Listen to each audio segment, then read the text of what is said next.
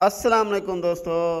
दोस्तों, आज की वीडियो बनाते हैं S satellite finder S cruiser 700 model H D plus, जिसके साथ रिमोट है। पहले इनकी अनबॉक्सिंग की है और इनको काफ़ी चेक कराया है मैंने। तो अक्सर जो हमारे रिसीवर एच डी छियासठ ज़ीरो पाँच में इनका साक्षार है, जिसमें ये फ़ायदा है कि जूम सिग्नल इसमें काफ़ी बड़े अच्छे हैं।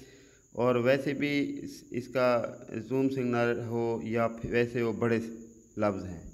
जूम सिग्नल मेरा इस फैंडर में भी है क्योंकि इनका जो वर्जन है वो है छियासठ ज़ीरो पाँच और इनमें भी साक्षार इनमें भी हो गया है और इसमें भी जूम सिग्नल उसी तरह के हैं ये देखें।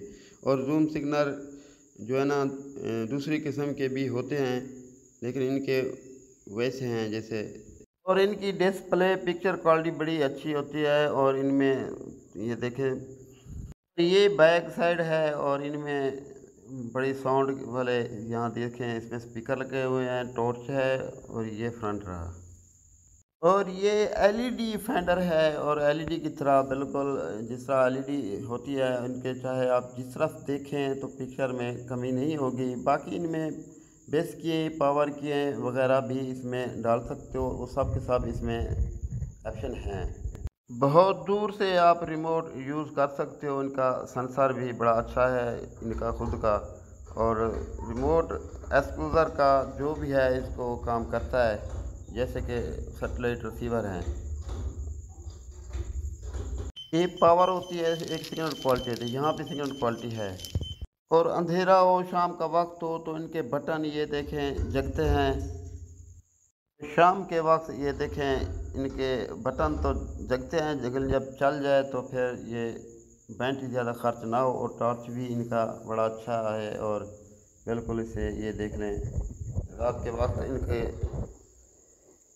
ये देख सकते हो, इनकी रोशनी टॉर्च और जूम सिग्नल ये कुछ रिसीवरों में भी है लेकिन उनका अपना जूम है, उसका अपना अंदाज है। मीडिया स्टार का मैंने ट्रेस किया था तो तो बाकी इनका ये है सुपर स्टार इनका भी जूम है, ये देखें, इनका इस तरह का जूम है। वैर अभी लगी नहीं है सिग्नल दोनों नहीं हैं। और जूम सिग्नल इनका ये देखें, इस तरह का है।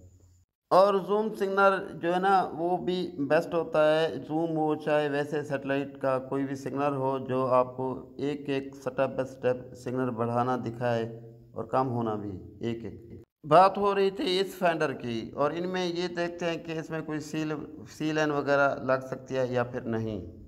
और उस फेंडर की बाद में बात करेंगे उसके सी लाइन की, और इनमें ये देखें उसी तरह का बनाने के लिए सस्ते में जो हमने सीवर को काटा है, वही छियासठ ज़ीरो पाँच का जी एक्स का जो होता है और छोटे साइज़ में बन गया है। फिर अब फेंडर जैसा साइज़ हो गया है और इनमें डीसी लगाया है हमने तो डीसी भी बनाया है इसको तो एक्स्ट्रा बैटरी तो वैसे होती है, इसमें वही वर्जन पहले वाली स्प्ले निकाल कर मैंने ये दूसरी लिया है जो डीसी मिलती है अलग से डीसी इनका ये देखें, छोटी सी प्ले है और इसका आसान तरीका है ग्रिप लगी हुई है और कुछ नहीं है। वो वाली निकाल दो, ये वहाँ लगा दें।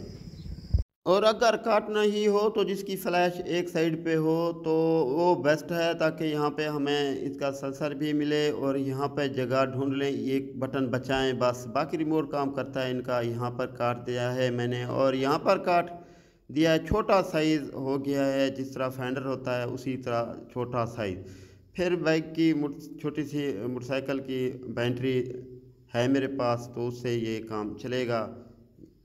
और बात हो रही थी इसमें कि इसमें कोई ऑप्शन है सी लाइन का या फिर नहीं, और यहाँ पे चेक करते हैं, बाकी ये सेटेलाइट फाइंडर है, और इसमें वीडियो भी देख सकते हो, जैसे कि मैंने दिखाया, और इसमें इन आउट भी है, और बाकी इनमें, ये देखें, इनमें देख लेते हैं, चेक कर लेते हैं इसमें तो अब इसमें दोस्तों इनमें नहीं है इसमें कोई और ऑप्शन इस इस वर्जन में, इस सॉफ्टवेयर में तो हमारा छियासठ ज़ीरो पाँच का उसमें भी नहीं होगा, जहरी बात है, क्योंकि एक ही वर्जन है।